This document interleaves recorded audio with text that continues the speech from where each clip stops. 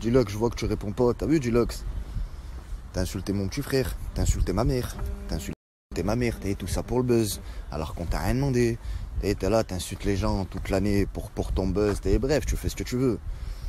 Mais il y a d'autres moyens de faire le buzz, de percer dans la vie, t'as pas besoin de rabaisser les gens, d'insulter des mères, elles ont rien demandé.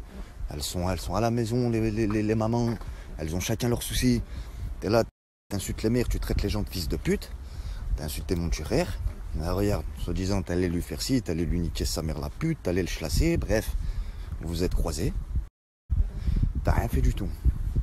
Et Wallah, t'as de la chance hein, que tu m'as loupé de deux minutes, sinon je t'aurais éteint, mon pote. Et tout ça pour vous dire, il va passer des coups de fil peut-être, il va appeler des gens. Personne n'y se mêle. Wallah, mon petit frère, il est dans son hack. Déjà, il a pas ton âge. T'as de une, de deux. C'est toi, t'as cherché la merde. T'as insulté la Yerk. Tu l'as rabaissé devant les gens. Enfin bref, T'as voulu, as voulu te mêler avec un, plus petit que toi. Tu t'es fait arracher ta tête. Maintenant, si tu veux faire hajar, ça va prendre des ampleurs de fils de pute.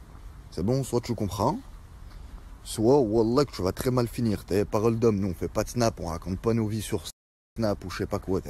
Voilà, on n'est pas là à insulter les mères toute l'année pour rien. Regarde, ni je t'insulte ni rien du tout, je te dis juste, tu veux pas répondre. Même si t'es éclaté mon tu frère, je me sens roulé. Tu étais qu'il ait levé la main sur toi. Normalement, c'est moi je te règle, normalement, parce que es, on est de la même génération. bref, il est assez grand pour se débrouiller. Enfin bref, Dilox, tu veux pas que je mette la vidéo?